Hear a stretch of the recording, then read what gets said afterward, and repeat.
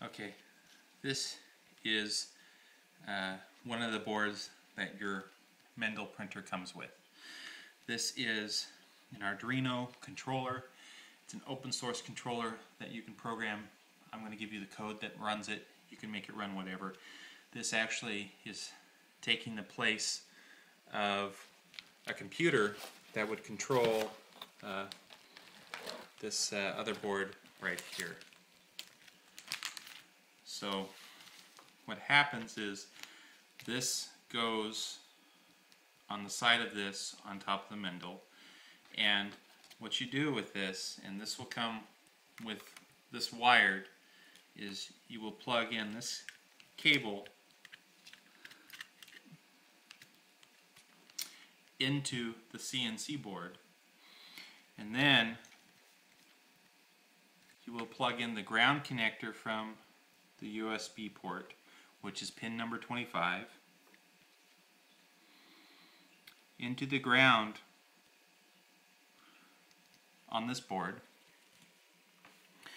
Then you will take uh, pin number 2 on the parallel port and put it on pin number 2 pin number 3 put it on pin number 3 pin number 4 put it on number 4 uh, pin number 5 put it on pin number 5 and uh, parallel oops excuse me.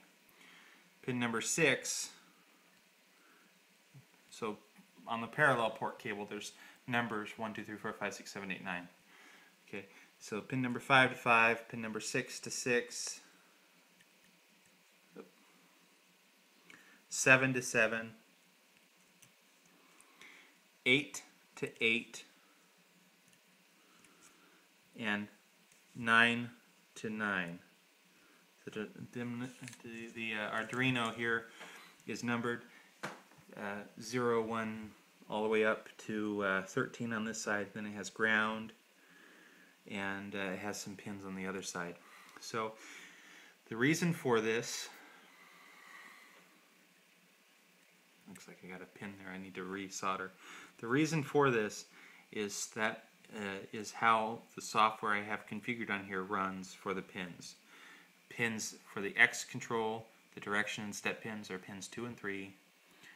Uh, excuse me, yes, 2 and 3. 3 and 4 are the Y pins.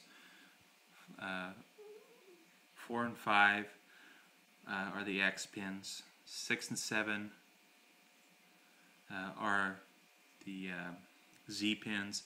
And 8 and 9 are the extruder control pins. So that isn't all that's going to be hooked up on here. There's also a temperature sensing resistor and a pulse width modulated uh, transistor module that powers the, uh, the heating element. But uh, what's cool about this Arduino is it's powered by a, an included USB cable.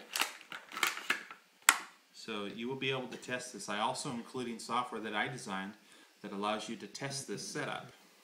And so what you do is you'll install the Arduino software on your computer. You'll plug this USB port in here. You'll plug this in to your computer. And once it initializes and finds the driver, you'll launch my software, tell it what port it's on, and you will be able to test your accesses once you set them up.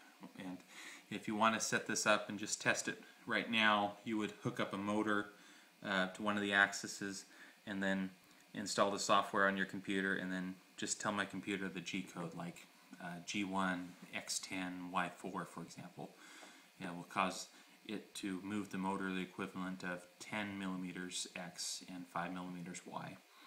And uh, uh, the program I have also tells you what this Arduino says back when it communicates. So it's a good troubleshooting tool. Uh, this uh, is designed to also work with the uh, Replicator G and the RepRap host software along with my software so you can use whatever you want and there's tons of people that are uh, that know this project reprap.org project and will be more than willing to help so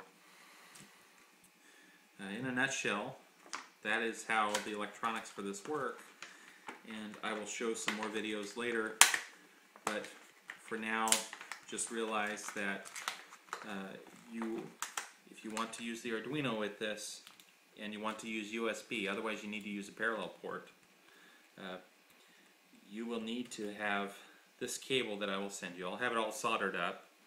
Uh, you may need to resolder because I had one pin come unsoldered, so be prepared to solder. You shouldn't need to, but in case you see something that's not wired the way it should, you can resolder it.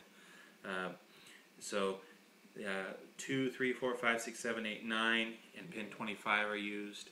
25 is used because it's a ground connection and it goes to ground on the Arduino.